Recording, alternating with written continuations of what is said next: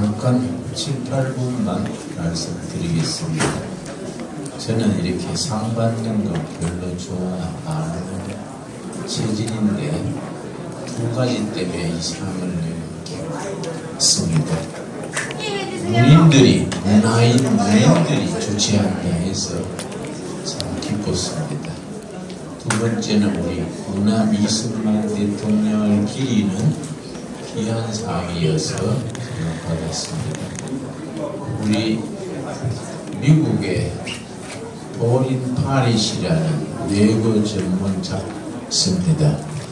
그 전문 잡지에서 2012년에 쓰기를 자 러시 우리 G7 시대 이후로 세계는 어디로 갈 것인가 거츠 시대가 도래할 것이다. 거츠는 G 독일, U 미국, T는 터키, S는 사우스 코리아. 21세기는 G7 시대가 지나가고 거츠 시대가 온다. 그 외교 전문 잡지에서 그렇게 실었습니다.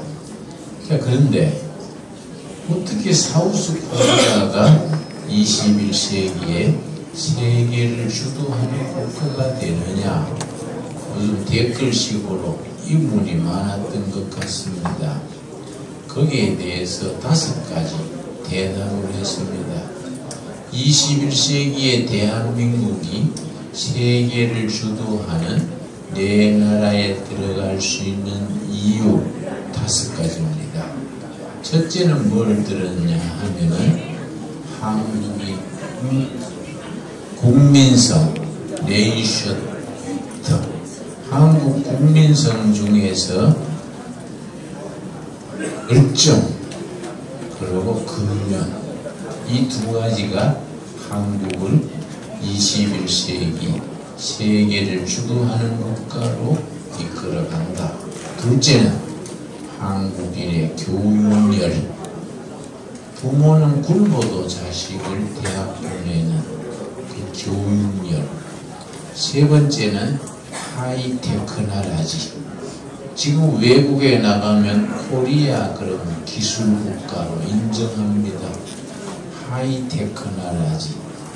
세 번째는 네 번째는 해외 186개국에 살고 있는 750만 해외 네트워크 요걸 네 가지입니다.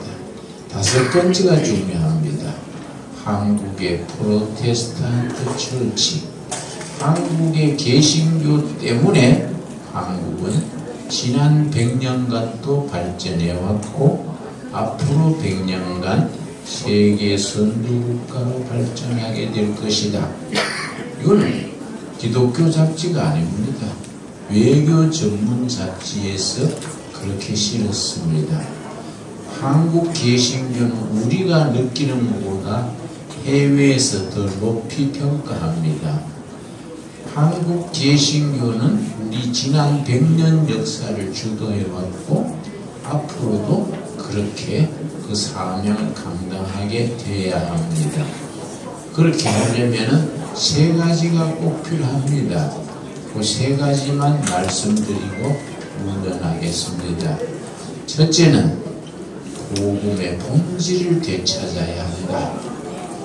너무 비본질적인 데 매여 있습니다. 총회도 있어야 되고 노회도 연합사업도 있어야 되지만은 너무 한국교회가 비본질적인 데에 매여 있습니다. 이걸 극복해야지요. 두 번째는 문화성교입니다. 문화성교. 교회 목회는 성공했는데 문화운동을 못했습니다. 앞으로는 이 문화성교, 특별히 이번에 문인들, 문화인들이 모이는 이런 시상을 만든다는 것이 만들었다는 것이 참 뜻깊습니다. 우리 한국 교회는 앞으로 문화운동, 문화선교에 힘을 기울여야 됩니다. 세 번째는 한국교회는 3.1운동 해방 이후 일관되게 이끌어가는 애국운동, 나라 사랑 운동을 실천해야 합니다. 그래서 통일 한국 시대의 국민 정신이 성격적인 나라 사랑, 하나님 사랑에 모일 수 있도록 애국 운동을 펼쳐 나가야 합니다. 여러분, 내가 말을 마치겠습니다. 이 세 가지 복음의 본질을 회복하자. 문화 운동을 철저히 펼쳐서 문화 아멘. 중요합니다. 세 번째, 결의 사랑과 하나님 사랑을 하나로 엮는 애국 운동에 앞장서자. 여러분 감사합니다.